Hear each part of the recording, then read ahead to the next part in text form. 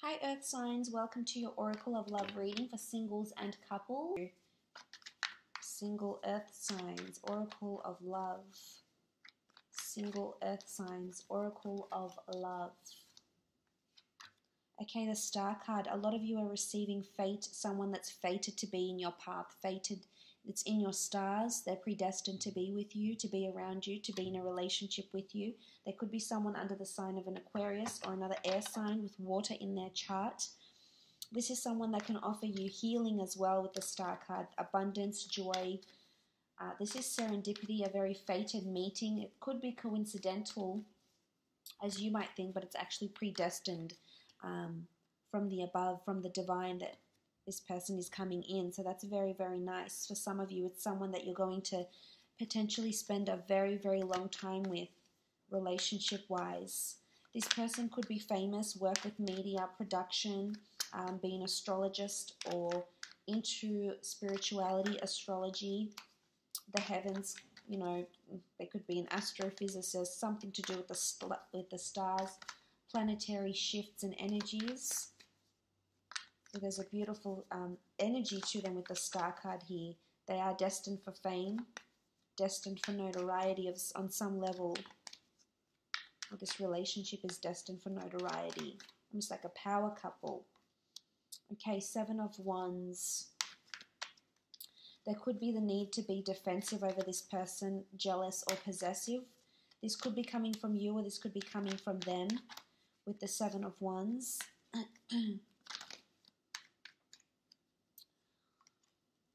there could be competition. There could be a lot of other people interested in this person, especially over social media with the star card. I do think of fame, so there could be potential suitors, um, you know, messaging them, showing interest in some capacity, which ha- which will have you feeling somewhat jealous. Um, I feel for others of you, you will have your guard up because you'll think this person is too good to be true, or they're too much in the spotlight, or they're just they're not for you. But I almost want to say you need to give it a chance because you have the strength card here as well. Um,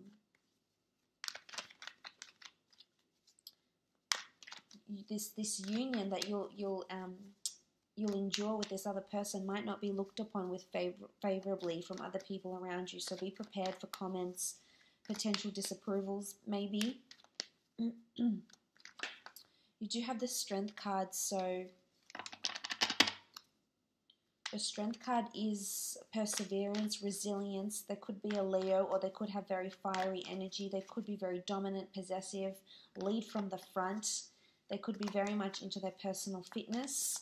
Um, you know, they could be one that's work. There could be someone that's working on their mental strength. So, whether that is through different avenues such as spirituality, or perhaps seeking a counseling or um, psychologist services, working on their strength. This is also indicative of a strong, um, a strong-willed person that's coming in here that can offer you strength. or that you will be offering them earth signs, but they will be offering you fire, passion, lust, excitement, um, movement, they could even bring a shake up with them, but I feel for the most part it's it's in a good aspect. You'll learn a lot from this person. There's a lot of affection that they'll give, and this will definitely resonate with you. We see the woman who's adoring um, lovingly this lion here. There's a lot of affection and love, and you'll feel very safe and nurtured in their arms, and you'll love absolutely. You know, you rule the senses, so you'll love. You rule the um the earthly plane. So you'll love all this attention and affection you'll receive from this person. They could also work in rehabilitation with a strength card here, or you know, psychology, helping people regain strength in some capacity, Pilates, yoga, personal training. Nine of Cups, this person is going to be a dream come true. This person is everything that you've been hoping, wishing, praying, wanting um, they're finally coming in and they're destined. It was a destined meeting. It might have already happened and you'll come back together.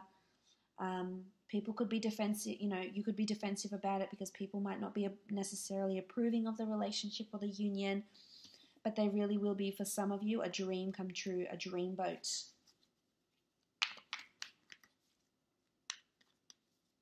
someone you've been waiting for, someone that just is going to inspire you um, and really tick all the boxes. Someone that you've been trying to manifest on a subconscious or conscious level with the Nine of Cups here.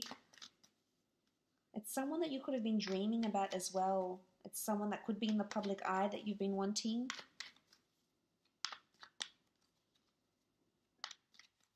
But this is potential to be lifelong.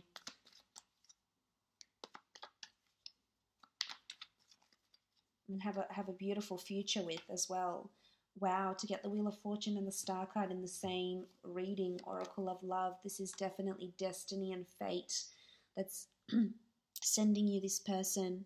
The Wheel of Fortune, things might have been working behind the scenes, but you you will you will come to see things in the physical and it will be really will this person really will be a wish come true a dream come true almost something about divine timing and serendipity could be something about a wheel this is where you know you could meet at an event at a famous event a book signing a concert a media production you could meet on set if you're filming um, or you might have you know maybe um, you're famous and you were you were holding an event and this person came in and this is where you met them. Could be something to do with the wheel. It could be driving as well. Things going around and round. I think of rings, so jewelry as well. This is what this person could work with. Also, things that shine, things that twinkle, so design, jewelry. Um, Wheel of Fortune. This is beautiful, though. Absolutely beautiful un- union. So things are in motion. You need to give it time because it's very much for some of you, there is very much a destined love here, someone that's going to fulfill you in an absolutely beautiful way. Dream come true, earth signs. Wow. Probably got the best oracle of love reading out of all the signs for singles. Okay, you do have the moon. Again, reference to astrology, moon, the stars strong spirituality here or very much um, influenced by the moon. So uh, they could have a certain sign, emotion, and a water sign in their moon. Uh, so their moon sign could be Cancer, Pisces, or Scorpio. They grow attached very, very quickly.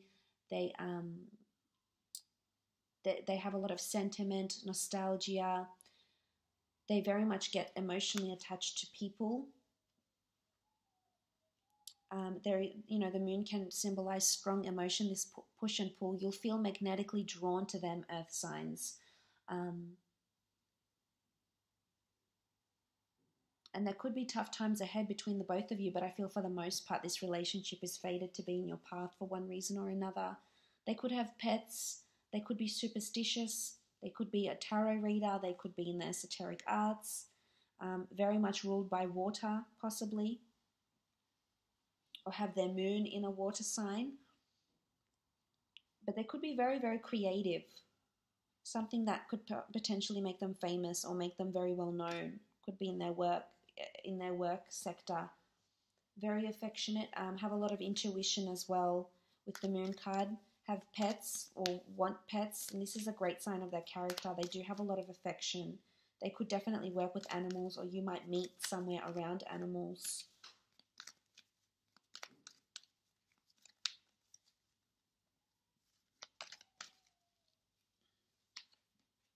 Okay, the Priestess of Rebirth, November 25th to December 21st. You're looking around the time of Sagittarius.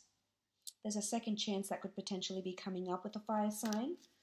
Uh, for some of you, could be a water sign as well. A second chance and a shift in the dynamic of the relationship, a rebirth. So for some, you could be coming back. For others, this is um, a complete fresh start in love. So if there has been hurt, conflict, uh, pain, lack of commitment, um, lack of feeling connected or in love with someone, then this person could definitely be the one to change this for you. And you'll notice you'll have a different disposition and character when you're around them. It's almost like you've been reinvented, reinvigorated, that you suddenly found new purposes for life. Okay, innocence. There's innocence around them. They could be very childlike in some ways, not immature, but youthful maybe. They could be innocent of certain experiences. They could have um, purity around them. They could come from a situation where they were the innocent ones, whether they were deceived, they were hurt. But I feel they have, um, they want to be nurtured. They crave that nurturing and affection, and you will definitely be able to offer them that, uh, earth signs.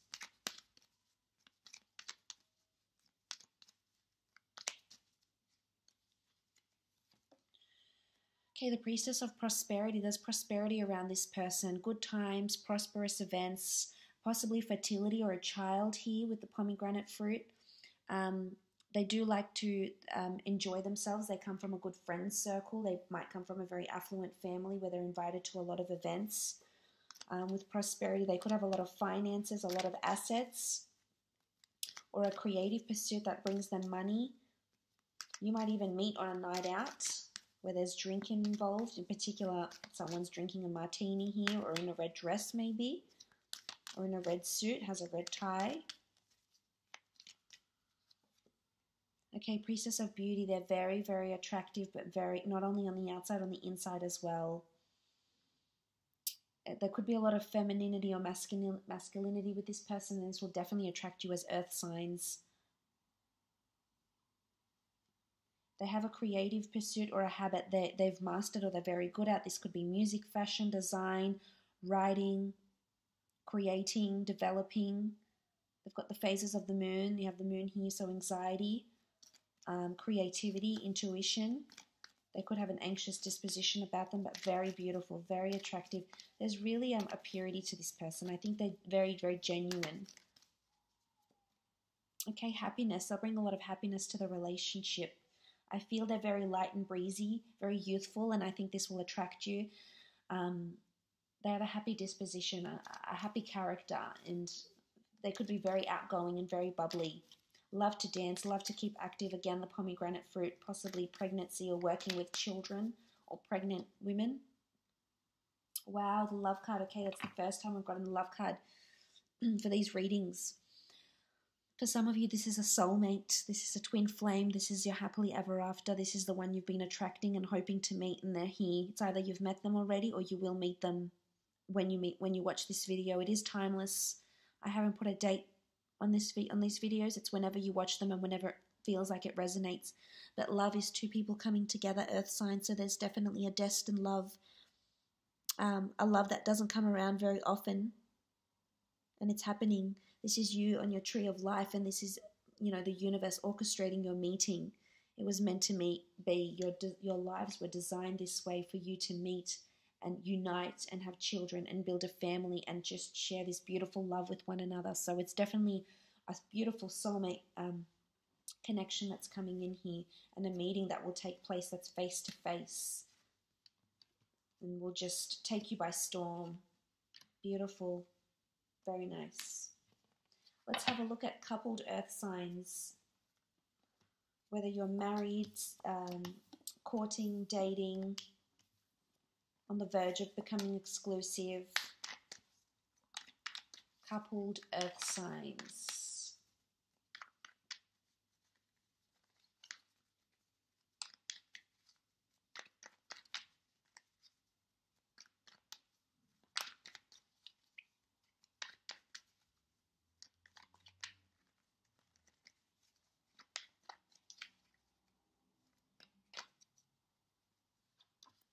Okay, the hanged man, there's something that will be um, hanging in the balance, something that there's a delay in, within the relationship. It could be there's a delay on an answer for a job promotion. It could be that there's things hanging in the balance that that relationship is being based on.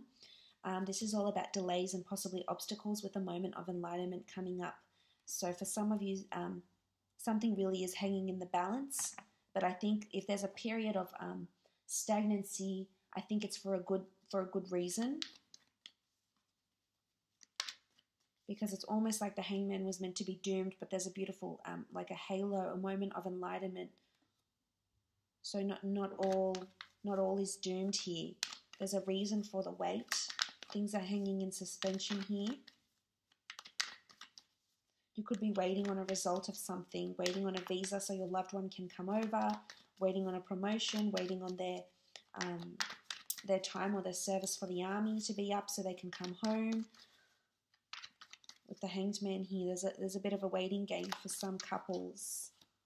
Okay, King of Cups, strong attachment, emotional reconciliation, hardships around emotions, um, being strong in the face of adversity. There could be obstacles coming up, but for the most part, there's beautiful reconciliation. The King of Cups is the ruler of emotion. So there's um, a beautiful love attachment here with the King of Cups for you earth signs. Okay, this card wanted to come out again. The Nine of Cups. Really good for you earth signs, actually. A wish will be fulfilled. A wish will come true. Something will manifest that you've been wanting out of this relationship, whether it's because of your patience or you've been waiting or it's all divine timing that's orchestrating something for this relationship.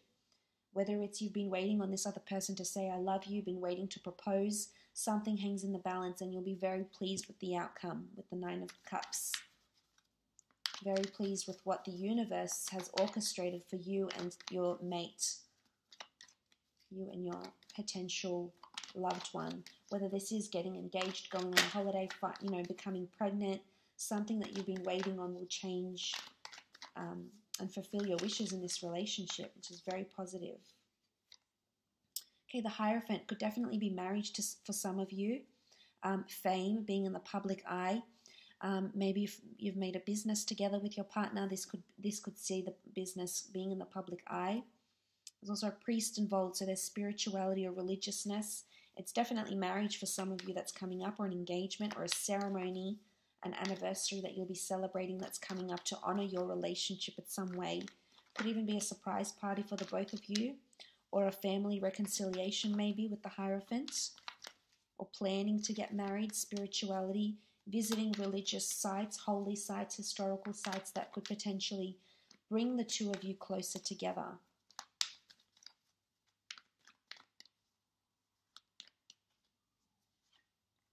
Okay, judgment. There's contracts surrounding a partnership here, whether it's moving in together with the judgment card, legalities, buying a home, signing paperwork, enrolling your ch- children into school, these legalities that's happening in the relationship, signing off that documentation to get married, for a property, maybe, an asset of some kind, um, documents for yourself, your children, that might be getting done with the judgment card um, receiving good feedback. So, whether that's from a marriage counselor, whether that's from friends that say they've seen improvements in the relationship, whether it's you that's going to be really soaking up the glory. I mean, look at these people, they're totally embracing the angel's music, they're embracing what the divine has offered them. But this is gratitude, openness, and making a really good judgment call, but as a team. Making a really good judgment call together, the both of you. Ten of Cups, beautiful, happily ever after. Buying that family home, looking to the rainbow in the sky. It could be a family reconciliation, a reunion of some kind, meeting the in laws for some of you and receiving really good approval and judgment and praise, feeling really welcomed in by the family, maybe. But Ten of Cups is just maybe buying that property you've been waiting for, taking a beautiful family vac- um, vacation that is going to be absolutely memorable um, and really thanking your lucky stars for this person and what this person has brought in for you. So, definitely beautiful, happy endings here for a lot of you in your relationships, in your partnerships.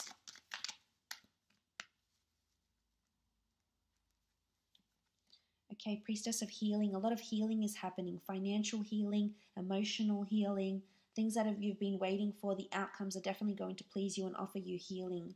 Whether this is reconciling, you know, some of you could be divorced and coming back together with this person, or there's healing that's happening for one person or the other, and this is this is emotion.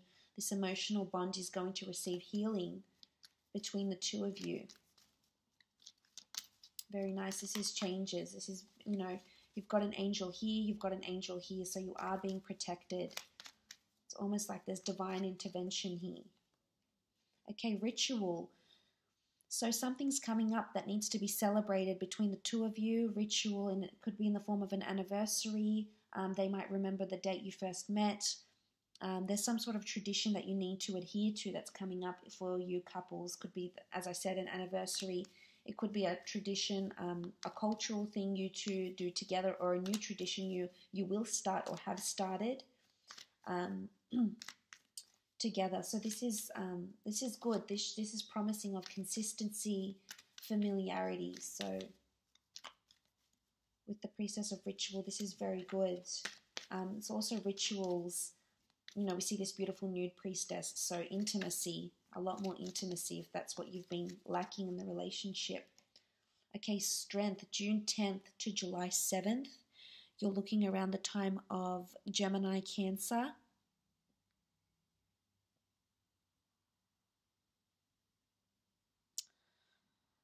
Needing strength, having the strength, mustering the strength to pursue on with what it is that you need to do. Perseverance, again, we see the tree of life it's sort of like a shield, like a medallion. So victory, bravery, strength, becoming, being the most powerful at the around this time, the most powerful um, um, energies, the most powerful energy in your relationship, being at your most powerful, being at your most strongest, being there for the for the other person, for your mate if they really need you.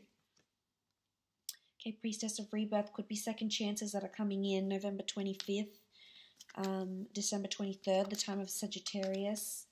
Could be a new beginning, rebirth, a renewal of vows, even for some of you. A second chance.